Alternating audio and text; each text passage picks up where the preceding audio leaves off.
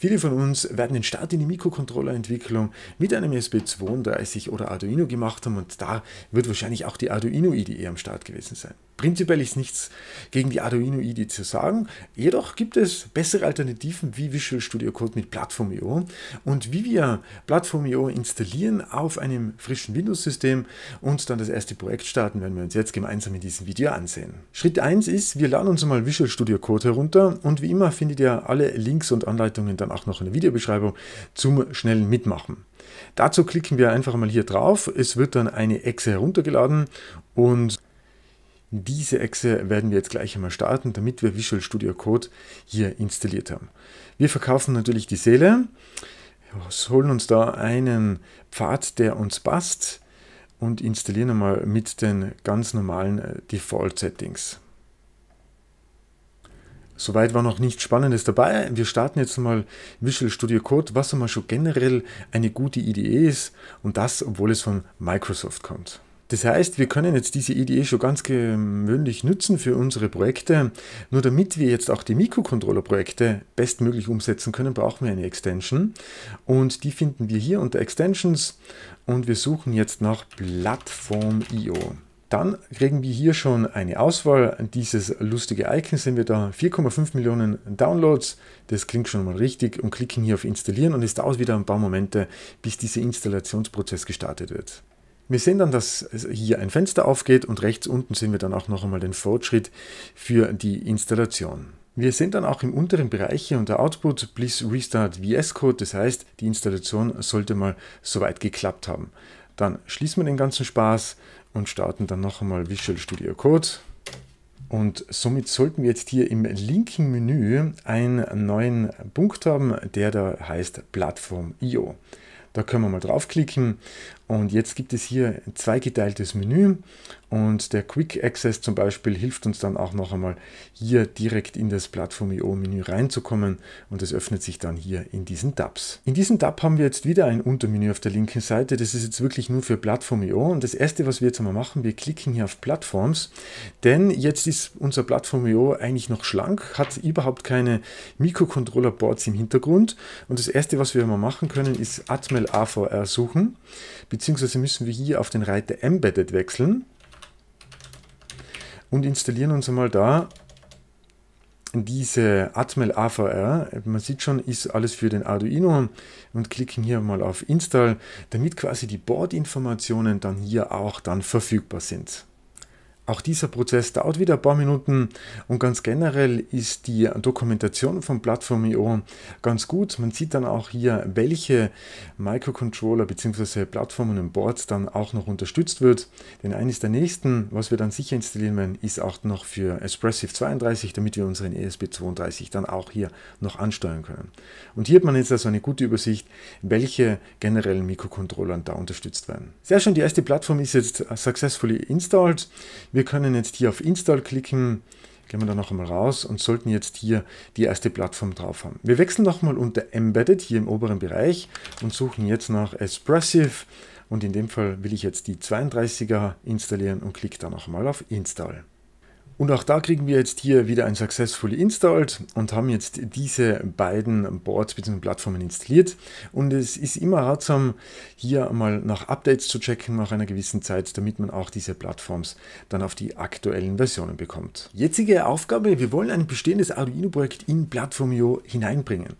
Und dazu starten wir jetzt wieder Visual Studio Code. Wir gehen auf unser Plattform.io-Zeichen und dementsprechend entweder wird es hier links aufgeblendet oder nicht. Wir klicken auf Home, auf New Project und geben wir mal ein LED Blink.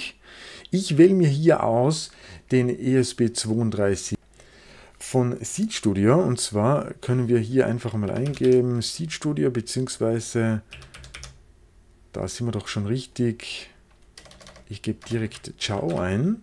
Das ist nämlich die Ciao-Reihe C3, Framework Arduino und jetzt können wir hier entweder die Default Location oder wir geben uns dann auch mal selber einen Pfad an, wo wir das hinhaben wollen. Wir klicken auf Finish und somit wird jetzt im Hintergrund ein Ordner angelegt in diesem Projektformat, diesen wir jetzt gleich ansehen werden. Und somit wurde uns jetzt hier ein Plattform.io Projekt erstellt und bevor wir da jetzt weitermachen, würde ich vorschlagen, wir springen noch schnell unter Manage und hier unter Settings in den allgemeinen Einstellungen. Und wir werden einmal hier in den Texteditor gehen, beziehungsweise wo waren wir da jetzt der commonly used, genau, Font Size will ich hier mal 20 und ganz wichtig, hier noch unter Telemetrie äh, zu suchen und hier mal auf jeden Fall auf Off gehen, damit hier nicht nach Hause telefoniert wird. Damit hat man da jetzt schon einmal die grundlegenden Einstellungen gemacht, dass hier Plattform.io benutzt werden kann. Und jetzt werfen wir noch einmal einen Blick in die Ordnerstrukturen. Und zwar die normale Arduino IDE hat hier eine INO-Datei.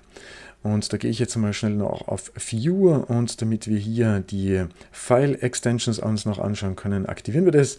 Das ist also eine Datei, die ist die Inno und da ist unser kompletter Quellcode drinnen. In Visual Studio Code schaut das Ganze jetzt so aus. Ich springe da mal hin, das ist jetzt der Projektordner und wir haben jetzt hier ein wesentlich mehr Inhalt und Files. Das braucht uns jetzt aber nicht abschrecken, denn im Wesentlichen brauchen wir mal nur den Source-Ordner. Das ist der wichtige und da ist jetzt eine Main-CPP drinnen. Und diese Main-CPP hat jetzt unseren Hauptcode. Können wir auch hier links reinklicken, Main-CPP. Wenn wir da jetzt auch noch zusätzliche Klassen etc. hätten oder Libraries, die werden wir da oder könnten wir dann da auch noch reinladen. Der nächste ganz wichtige Punkt, und mit dem starten wir jetzt, springen wir noch mal eins raus, ist die Plattform.io INI. Und diese INI-Datei gibt uns jetzt alle wichtigen Hardware-Konfigurationen an. Und diese Hardware-Konfigurationen finden wir entweder über den Wizard, also über den Dialog von Plattform.io, oder eben auch für den späteren Gebrauch direkt auf der Dokumentation von Plattform.io. Und dazu jetzt einmal ein Beispiel. Wir springen auf Espressive 32 und jetzt suchen wir hier mal den Ciao. Hier gibt es diese zwei, C3 und wenn wir da draufklicken, finden wir hier direkt, was wir für die Plattform IO INI eintragen müssen. Springen wir da nochmal hinüber. Wir sehen jetzt also schon, wir haben hier die Angabe von unserem Development Board, von unserem quasi ähm, SB32, den wir verwenden. Hier noch einmal die Plattform und hier noch einmal Seed Studio.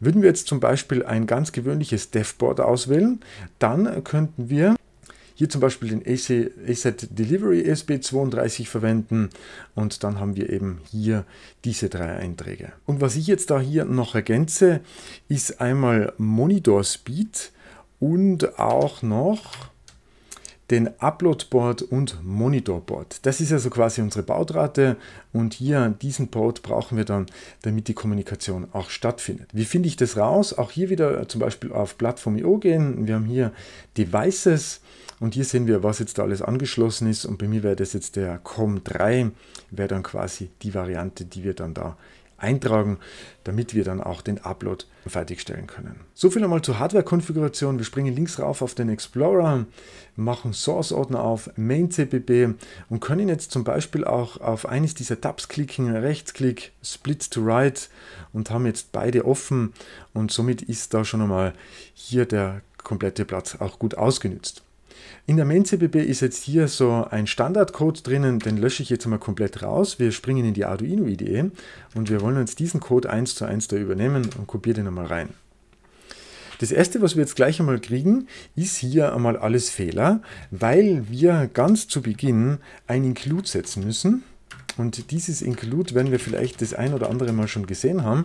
Da müssen wir jetzt die Arduino H referenzieren, damit eben Plattform.io dann auch weiß, okay, diese eigenen C++-Funktionen, die es jetzt nur unter der Arduino Environment gibt, werden dann damit auch quasi registriert und können dann auch verwendet werden. Ja, und jetzt wollen wir auch wissen, ob dieser Code sich auch kompilieren lässt, so wie in der Arduino IDE. Und dazu haben wir hier unten eine Leiste und da gibt es einen Haken, da steht eben Plattform.io Bild. Da klicken wir mal drauf und lassen mal den Compiler mal durchlaufen und schauen, ob es hier grünes Licht gibt. Und wir kriegen kein grünes Licht, weil hier steht eben, erstens, wir haben hier eine schöne Übersicht, gerade für längeren Code hilfreich, damit man da zum Beispiel dann auch hinspringen kann. Und dann sehen wir, okay, hier auf Zeile 19 gibt es ein Problem, weil eben, wenn wir die Mitteilung lesen, Toggle LED was not declared in the scope. Das heißt, wir rufen hier eine Funktion auf, die es zur Laufzeit noch nicht deklariert worden ist. Jetzt gibt es mehrere Möglichkeiten. Wir könnten jetzt einfach einen Funktionsprototypen machen. Das heißt, dass diese Funktion hier deklariert wird und dann im späteren Verlauf erst aufgerufen wird. Somit wäre dieser Fehler weg. Oder wir nehmen diese ganze Funktion und geben sie hier auf den oberen Bereich hin, denn dann ist sie quasi deklariert und definiert und kann dann aufgerufen werden. Probieren wir es noch einmal aus. Und somit läuft das ganze Ding. Das heißt, hier müssen wir also unter Anführungszeichen etwas sauberer programmieren, sehen dann aber auch schon, okay, jetzt haben wir grünes Licht und könnten jetzt unseren Code raufladen. Und das machen wir jetzt auch, indem wir hier diesen Button rechts anklicken, Plattform.io Upload. Und dann kann es sein, dass es beim ersten Mal hier noch ein paar Tools herunterladet, wie es ESB-Tool etc. Und dann sehen wir hier schon, dass ein Upload stattfindet. Und jetzt blinkt die LED, die ich hier angegeben habe, jetzt mit dem Pin Nummer 10. Und that's it. Somit haben wir jetzt unser erstes Projekt von der Arduino IDE in Plattform.io umkonvertiert. Jetzt schauen wir uns ein zweites Beispiel an, in dem wir ein Projekt machen, in dem wir auch eine externe Library brauchen, wie zum Beispiel die OLED-Ansteuerung. Dazu kopiere ich mir jetzt einfach mit Steuerung C, Steuerung V das bestehende Projekt, denn hier haben wir ja schon alle Einstellungen gemacht. Sage LED-Blink und OLED hätte ich gerne. Starte wieder mein Visual Studio Code zum Beispiel, denn wir brauchen jetzt den gesamten Ordner, den wir da gerne reinladen. Und jetzt haben wir die Möglichkeit, hier unter Plattform.io zu gehen und Pick a Folder, beziehungsweise können wir hier auch auf Open Project gehen und wir wählen, wie gesagt, jetzt hier immer den gesamten Projektfolder. Es öffnet sich hier noch einmal neu das gesamte Visual Studio und wir sehen hier, jetzt haben wir unsere Inhalte hier erinnern, wieder wie wir sie davor angegeben haben. Damit wir jetzt das OLED ansprechen können, brauchen wir hier eine Library. Die finden wir jetzt wieder unter dem Plattform.io-Menü. Wir gehen unter Libraries und haben jetzt da die Möglichkeit danach zu suchen, wie wir das schon gewohnt sind. Und ich gebe mal hier ein SSD 1306, also das gewöhnliche OLED. Wir haben hier das von Adafruit, was wir schon kennen. Und jetzt haben wir hier den Menü Installation und ich kopiere mir das jetzt einfach mit dem LibDeps einfach raus mit Steuerung C, wechsle in meine Plattform IOINI und gebe das da ein. Diesen Teil kann man rauslöschen und somit habe ich jetzt die Möglichkeit hier mehrere Bibliotheken einfach untereinander dann anzugeben. In dem Fall brauche ich jetzt nur diese Variante, das heißt ab ähm, der 2511er beziehungsweise kann ich dann hier alles verwenden. Die ist noch nicht installiert, beziehungsweise wird sie dann jetzt installiert, wenn ich das erste Mal speichere. Und dann wird auch gecheckt, ob diese Datei hier konform ist. Das schaut jetzt alles gut aus, das wird jetzt hier heruntergeladen. Und dazu kann ich jetzt wieder in meine Main-CPP gehen, diese Datei haben wir wieder auf die rechte Seite rüber und kann jetzt da den Code einfügen. Und der Einfachheit halber habe ich jetzt hier einfach einen Code hereinkopiert, der nichts anderes macht, als einmal das OLED-Display zu initialisieren, ein Hallo Ciao ausgibt, zwei Sekunden wartet und diese Funktion rufe ich in init OLED auf und in der Loop gibt es ein Show Millis. Das heißt, diese Funktion macht dann nichts anderes als noch einmal den gesamten Display zu löschen und die Laufzeit auszugeben, das heißt die Millis in Sekunden. Wir sehen jetzt hier auch schon, es ist einiges rot, weil wir müssen natürlich hier auch noch unsere Verweise angeben, die wir jetzt davor uns rausgesucht haben. Jetzt war ich zu schnell, das müssen wir jetzt noch einmal machen unter Libraries. Darin sind wir und unter Example finden wir nachher auch hier ein Beispiel, wie wir das auch unter der Arduino IDE gewohnt sind. Das kopiere ich mir dann noch raus und muss hier da die Includes noch setzen. Und jetzt probieren wir noch einmal, ob wir da grünes Licht bekommen vom Compiler. Und da haben wir grünes Licht und dann laden wir schon rauf. Schauen wir es uns mal in groß an. Hello, ciao. Und dann haben wir da die Laufzeit jetzt in Sekunden angegeben. Das heißt, auch das Einbinden von externen Libraries ist dann mit Plattform etwas anders, aber funktioniert dann in ähnlicher Variante, dass wir auch die gewöhnlichen Libraries finden. Ein Punkt ist noch offen und zwar, wie wir den Serial Monitor aufbekommen, damit wir mal grundlegend starten können mit Plattform Dazu machen wir hier in dem Setup ein Serial Begin, wie wir das kennen, zum Beispiel mit einer Bautrate von 115200 und dann würde ich vorschlagen, wir gehen in die Show Millis rein und machen da herunter noch ein Serial Print Line mit den aktuellen Millis zum Beispiel. Laden uns diesen Code wie gewöhnlich wieder rauf. Und wenn wir dieses neue Update jetzt raufgespielt haben, gehen wir wieder in die Plattform Io-Icons ganz unten und haben jetzt da mehrere Möglichkeiten und wir sehen, dass dieser kleine Stecker hier den Serial Monitor anzeigt. Da klicken wir drauf. Es öffnet sich jetzt hier ein weiteres Fenster und somit sehen wir jetzt hier die Serial Monitor Ausgabe, wie wir das gewohnt sind, auch von der Arduino IDE, nur eben hier unter dem Terminal. Und wenn wir da eins äh, hinaufklicken, sehen wir noch einmal die, das Fenster, das Terminal-Fenster vom Upload und wenn wir wieder runterklicken, jenes von den aktuellen Serial Monitor. Wenn wir das ganz rechte angeben, ist es New Terminal. Das heißt, wir können hier drinnen jetzt direkt gleich wie in einem Terminal umgehen, zum Beispiel mit der Git-Verwaltung starten oder sonstige Sachen, was man halt gerne auf der Kommandozeile ansonsten auch noch so macht. Und somit sind wir schon am Ende dieses kurzen Einführungsvideos. Nehmt euch da ein paar Minuten Zeit und probiert einmal den Wechsel aus. Es macht wirklich mehr Spaß, hier in dieser IDE zu entwickeln. Und wenn man es einmal gewohnt ist, möchte man dann gar nicht mehr Retour wechseln. Ich wünsche euch auf jeden Fall viel Spaß beim Ausprobieren und wir sehen uns dann wieder bei einem der nächsten Videos.